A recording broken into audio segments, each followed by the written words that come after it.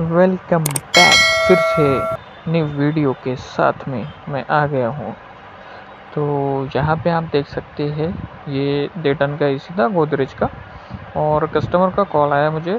Customer बोले कि रहमान भाई, पानी जो है ना, वो अंदर बहुत स्पीड में गिर रहा है मतलब ज़्यादा गिर रहा है, उनको बकेट लगानी पड़ी। तो मैं वहाँ पे गया जेट पम्प साथ में लेके गया।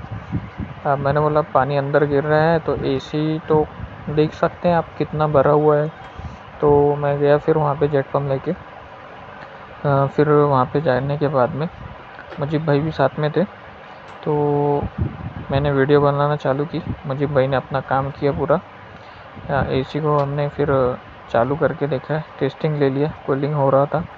लेकिन इंडोर का कॉयल भी बहुत भरा हुआ था। ब्लोअर भी बहुत भरा हुआ था। फिर हमने जेट पम्प लगाया। जेट पम्प लगाने के बाद में मशीन को सप्लाई दिया। सप्लाई देने के बाद में उसको नोज़ल को एडजस्ट किया। एडजस्ट करने के बाद में अपना क्या बोलते थे उसको, फिर कवर वगैरह को कवर पिलाए हमने एसी को।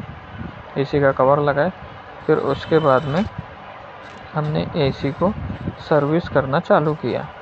जैसा आप देख सकते हैं आप लोग सर्विस करने के बाद में इंडोर यूनिट का सर्विस करने के बाद में हमने उसको सूखने के लिए छोड़ दिया।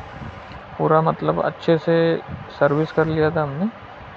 हाँ इसमें से ब्लोअर का वीडियो मैं नहीं बना पाया, क्योंकि ये कवर थोड़ा बड़ा था तो इसके लिए मुझे आना पड़ा। और यहाँ पे ड्रेन पाइप इतना चौक था इसका, इतना चौक था, वो भी मैं वीडियो थोड़ा सा नहीं बना पाया, क्योंकि मैं बाहर आ गया था। जैसे यहाँ पे देख सकते आप, ये ये भी ड्रेन पाइप इतना भरा हुआ था इसके अंदर डस्ट मतलब बहुत बहुत क्या मतलब पूरा का पूरा।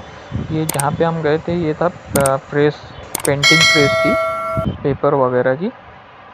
तो वहाँ पे उसके अंदर पूरा पेपर ही पेपर भरा हुआ था ट्रेन बाइक में। फिर हम आउटडोर के आउटडोर पर आए आउटडोर को वॉश किए।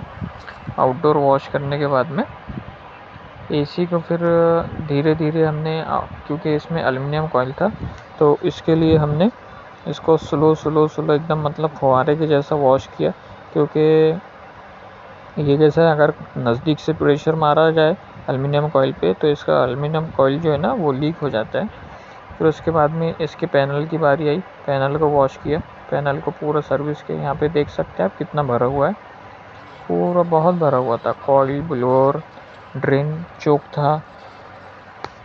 हाँ। अब देख सकते हैं, यहाँ पे इसको धो धुला के हमने फिर इसको बाद में सूखने के लिए रख दिए, धूप में। फिर पानी यानी को फिर कपड़े से पोछा गया, पोछने के बाद में इसको फिर नीचे हमने लेके गए। ये देखिए, यहाँ पे कितना मतलब मट्टी मट्टी है पूरी की पूरी।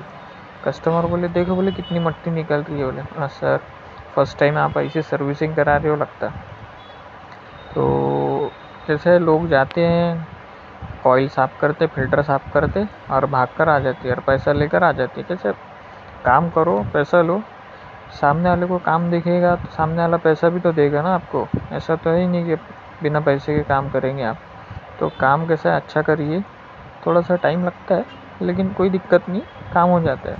फिर हम लोग अंदर आ गए। अंदर इसका स्विंग मोटर का मोटर लगाए कवर लगाए। कवर लगाने के बाद में डिस्प्ले भी लगाए। डिस्प्ले लगाने के बाद में एसी को फिर हमने चालू करा। जैसा देख सकते हैं, यहाँ कवर लग चुका। अब लगने के बाद में पूरा मतलब इसका स्क्रू वगैरह जो भी था, वो सब लगा दिए। फ़िल्टर लगा दिए। फ़िल्टर लगाने के बाद में कवर लगा दिए। पूरा मतलब एक एक स्क्रू लगा रहे हैं, क्योंकि ये वोल्टास का एसी था। गोदरेज का सॉरी गोदरेज का एसी था तो इसमें स्क्रू बहुत सारे नीचे तीन, ऊपर पाँच छः मतलब ऐसे आठ, दस स्क्रू थे, वो सब लगा दिए फ़िल्टर डाल दिए, दोनों भी फ़िल्टर अब उसके बाद में ऊपर का कवर लगा देते। कवर लगाने के बाद में एसी को चालू कर लेते हैं। यहाँ देखिए एसी को चालू कर दिया हमने।